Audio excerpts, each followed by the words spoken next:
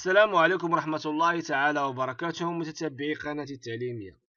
في هذا الفيديو إن شاء الله سنتعرف على النص الشعري مجد وحضارة المستوى السادس ابتدائي.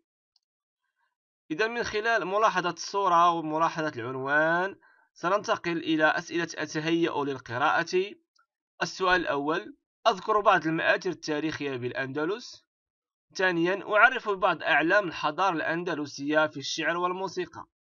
إذا بعض المآثر التاريخية للأندلس من أشهرها قصر الحمراء وصومعة الخرالدة هذه أبرز المعالم التاريخية بالأندلس. القصر الحمراء على اليسار وصومعة الخرالدة كما ترونها على اليمين.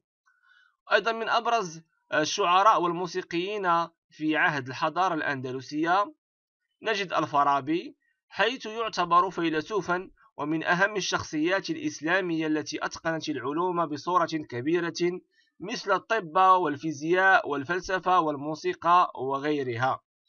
الشخصية الثانية هو زرياب وهو من أبرز أساتذة الموسيقى وفنون الحياة في عهد الحضارة الأندلسية. إذا بعد قراءة النص سوف ألاحظ وأتوقع. ألاحظ الصورة والعنوان وأتوقع. علاقة العناصر الموجودة في الصورة بالعنوان والموضوع الذي سيتحدث عنه الشاعر. إذا من خلال ملاحظة الصورة والعنوان فالصورة فهي لمسجد قرطبة بإسبانيا والصورة تبين المجد والعظمة الذي وصلت إليه الحضارة الأندلسية.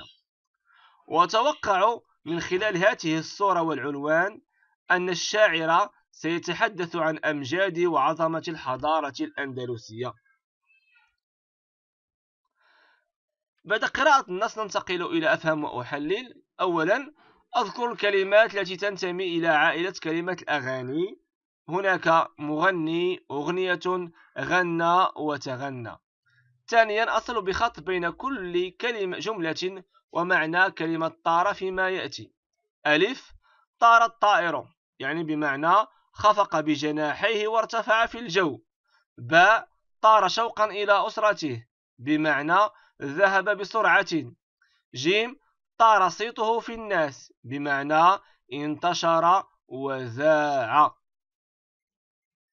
ثالثا ما المخاطب في البيت الأول؟ المخاطب في البيت الأول آه، هو الأندلس. المخاطب في البيت الأول هي الأندلس. رابعا أشرح البيت الثامن. البيت الثامن يقول بسوى الحب والتسامح ما كان ليحيا بأرضكم دينان. البيت الثامن الشعر يبين لنا في هذا البيت فضل الحب والتسامح في تعايش المسلمين والمسيحيين في الأندلس. خامسا أقسم النص إلى ثلاث مقاطع. إذا المقطع الأول الذي تغنى فيه الشاعر بالأندلس وماضيها هو الذي يمتد من البيت الأول إلى البيت الخامس. هو الذي يمتد. المقطع الذي تغنى الشاعر بالأندلس وماضيها فيه هو الذي يبتدئ من البيت الأول إلى البيت الخامس. الأندلس حضارة التسامح والحب. هو المقطع الذي ينتمي من البيت السادس إلى الثامن. والمقطع الذي يتكلم عن آثار الأندلس الدالة على حضارة على حضارتها المزدهرة. هو المقطع الأخير الذي يمتد من البيت التاسع إلى البيت الثاني عشر. سادسا أرصد من النص ثلاث جمل تعبر عن إشادة الشاعر وافتخاره بالحضارة الأندلسية. هذه الجمل هي الموجودة في البيت الثالث والبيت الخامس والبيت التاسع هي التي تعبر عن إشادة الشاعر وافتخاره بالحضارة الأندلسية. سابعا ماذا يقصد الشاعر بقوله؟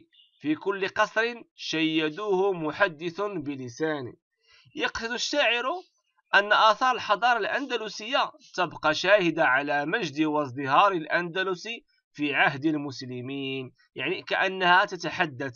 عندما نرى قصر الحمراء أو صومعة أرخيرالدا أو مسجد قرطبة كأن هذه المعالم التاريخية تتحدث وتتكلم وتصف لنا المجد والحضارة والازدهار الذي كان في عهد الأندلس.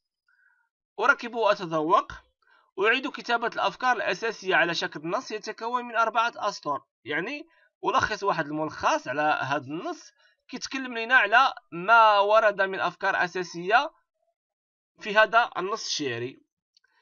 إذا تغنى الشاعر في هذه القصيدة بمجد وحضارة الأندلس. وذكر بعض شعرائها كزرياب وبعض مآثرها التاريخية التي لا زالت تذكرنا بالماضي الإسلامي العريق والمتسامح والغني في الأندلس. إذا هذا هو الجواب تاعو ركب وبالنسبة لأتذوق فهو اختياري أختار بيتا أعجبني وأعلل اختياري. يعني اختار كل تلميذ يختار واحد البيت عجبو من هذا النص ويعلل الاختيار ديالو. يعني لماذا أعجبه؟ وأقوم أتحقق من صحة توقعي. توقعنا في الأول أن هذا النص غيتكلم على المجد والحضارة ديال الأندلسية وكما لاحظتوا فأن التوقع تاعنا كان صحيح. هذا النص كيتكلم على الحضارة والمجد ديال الأندلس. ولا تنسوا الاشتراك في قناتنا إن شاء الله ليصلكم كل جديد ولا تبخلوا عنا بتعليقاتكم وبالتوفيق لكم إن شاء الله. وشكرا جزيلا لكم.